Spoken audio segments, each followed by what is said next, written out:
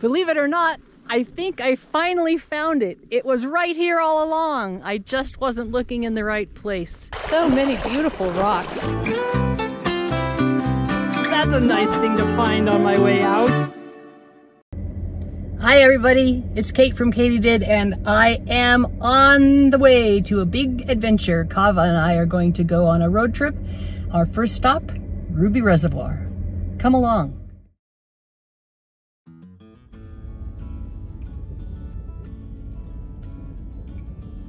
Here we are at Ruby Dam. The reservoir was back behind me, but Theo Kellison told me that he's had good luck finding garnets down here below the dam, so I'm going to give this a try first. It's a very pretty area.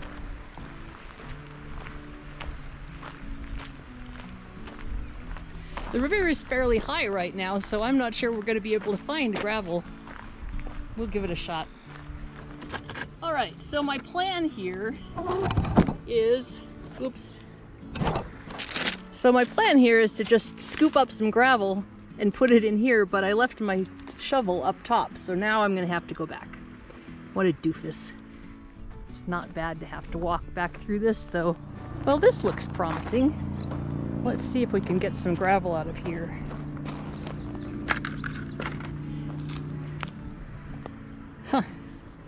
Some kind of chert, I think. Cool.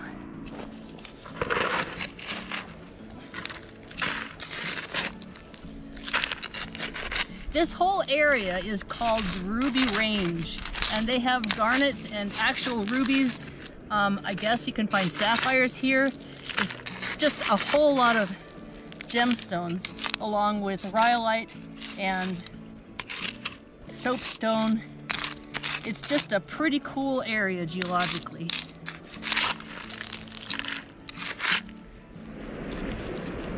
Oh yay, the sun's coming out. The sun is very helpful.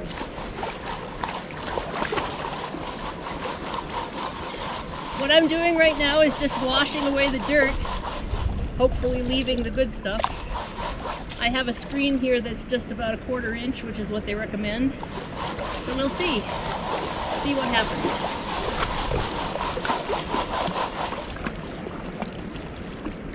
Looks like gravel. Ooh, look at that. That's a sapphire. I wasn't expecting that. Hmm, now I have a problem. I don't really have a place to put these.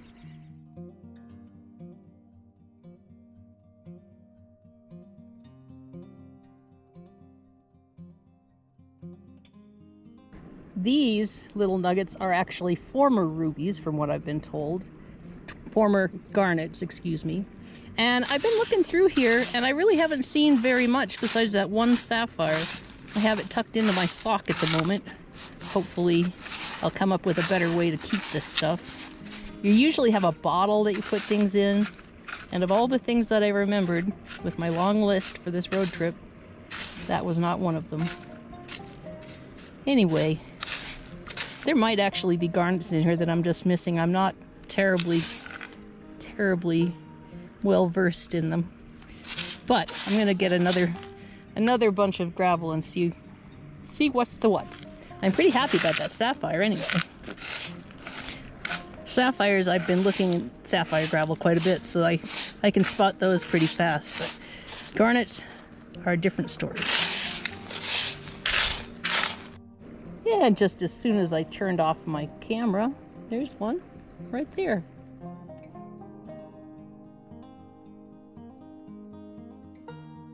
I think this dark thing here is actually probably a ruby. Ah, garnet, garnet, darn it, darn it, garnet. Um, it's awfully dark, but it's got that kind of glassy feel to it.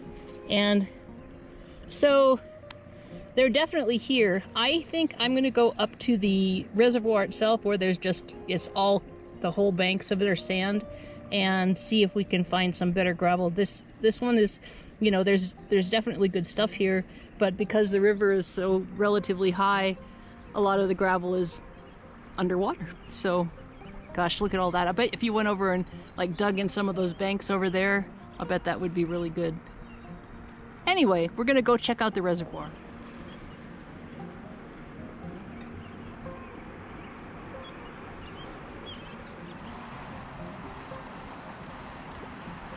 Well, the last time I was here, the reservoir was so low that there were multiple ridges of, of uh, bars where it had dropped and dropped and dropped. Granted, it was in late, it was in late summer, but uh, you know, with all the rain we've had and the flooding and stuff, I think they're holding extra water in the reservoir, which means, of course, there are no beaches.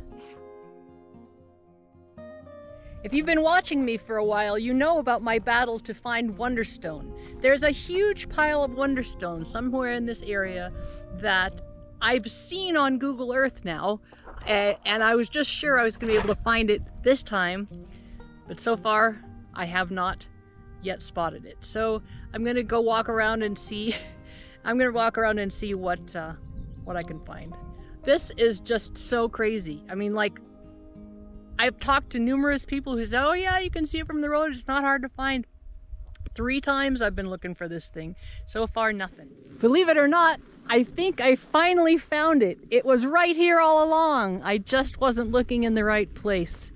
It's uh, it's a little bit smaller pile than I expected, which is why I didn't see it from the road. I suspect that people have been hmm, taking pieces from it for a long time, which is why it's here. Uh, either the landowner wanted to share or he got sick of having people come up on his place and so he dumped it here instead. Anyway, we're going to take a look and see if we can find some cool Wonderstone to take home with us. Now that I've finally found it, I feel so happy. Well, I brought the squirt bottle and my hope is that I can see if there's something good inside these before hauling them home. There's lots of really good small ones. I found this nice chunk. It's rather large, but it does not, I mean, large compared to some of the other ones, but it doesn't really have, you know, on the outside it's pretty meh. But then I saw this and I thought, you know, I bet that has something inside of it. And then I saw over here. So this looks like it's probably going to be a pretty, pretty decent chunk of Wonderstone. I'm going to take it along We'll cut it open, see what's inside. Okay, now that I've gotten a decent cutter, I'm going to just look at some of the smaller stuff and put some of that in my in my bucket here and uh, bring that home too.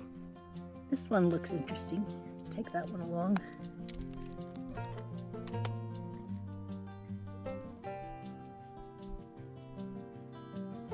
These are all such different colors. Look at the reds in this one. Very cool. Trying to find a piece that has the good rings in it that I can show you. See, this is why people love it so much. It's just so pretty. This is rhyolite, so it doesn't really polish that well, but who cares when it looks this cool? Check this out. Isn't that just beautiful? Look at that. I don't even mind that these are small because they're just so gorgeous. We have a piece of Wonderstone at home that Jim bought at an auction at a rock show. And uh, we don't find any big pieces. We'll cut that one up and show it to you. One of the reasons I had trouble finding this is because I was a little confused by the instructions on the Montana rock hounding site. But it really is just inside of the first, the second cattle gate, and then there's a road to the left that leads to this little pile of stones. Boy, when it's all gathered in one place like this, it's just too easy. Look at that. Here's a piece that might be cuttable. Maybe. Yeah, I don't, I think it's just the wrong, kind of the wrong shape. The rings are in the wrong spot. We'll try to find something else. Well, it looks like we found something cuttable. Look at that. Wow. You know, this was worth the wait. I just, I, I love this material so much. It's just so pretty. Here's another one with really cool bands. I wonder how this was formed. I mean, rhyolite is formed because it's being thrown out of a volcano, but how did it get all these different colors? I'll have to look it up. This is kind of a neat one. This one kind of looks like a sunset. Or a sunrise, maybe. A sunrise over a fall tree. There really are no bad rocks here. So cool. The trick with these is they look kind of like nothing on the outside. This one has just a little bit of nick of the outside of it. You can see the banding there. Oh, but this is just spectacular. Now that I've found the pile, I really just don't ever want to leave. But Kava does. I think she hears a thunderstorm coming. What's wrong, Kava? Did Timmy fall down the well? This pile has been here for generations of rockhounders, and while what's left is pretty small, it's still so worth getting. Well, as promised, I looked up how Wonderstone is formed so that I could know and I could share it with you, and then we'll both know.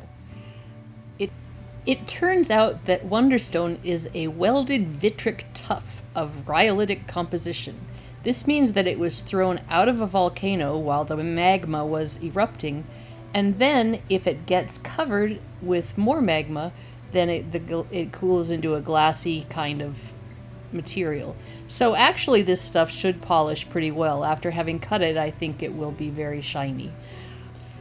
The rings themselves are apparently formed when groundwater that contains iron and other minerals flows through the rhyolite.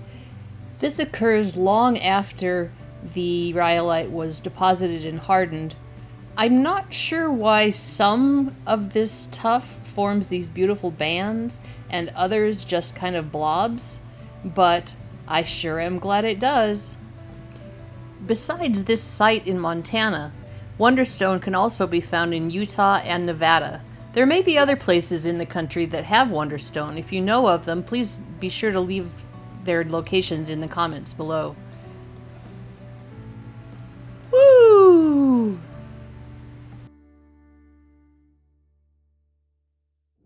Well, we're gonna head back down the road I was going to stay overnight here, but I got here early enough because of the reservoir being empty or too full that I'm going to continue down the road. It's about 30 more miles over a gravel road to Dillon, and then I'll look for a place to sleep over there. What we have here is a Montana traffic jam. Well, that was interesting. That whole huge flock, the, there was a guy on a motorcycle who was shepherding them down the road. I'm assuming they're moving pastures. Um, but he buzzed around side of them and they all went over to one side so I could get past. That was really cool. GoPro. Well, last stop on this road. This is the soapstone mine or the talc mine and this all of this material this stuff's called soapstone and uh, I always stop here on this when I'm on this road because oftentimes they have pieces and bits that are left over from when they fell off the truck and I can find them and use them. So that's what we're doing.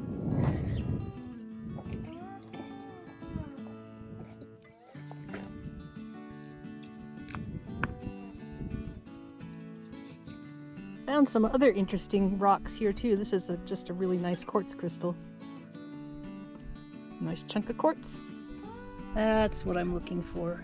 I picked up some that have bigger crystals and they're they're talcy but they're they're not very carvable. This is very soft, it feels like soap. And I've used I've actually carved this stuff with a knife before. Well, that's the end of day one of the big adventure. I am set up at a camping site, a dispersed camping site in the Targhee National Forest in Idaho. And uh, did you know you can camp on public lands without paying? anyway, dispersed camping is a really cool thing. Check it out. This is Kate from Katydid. Keep on doing.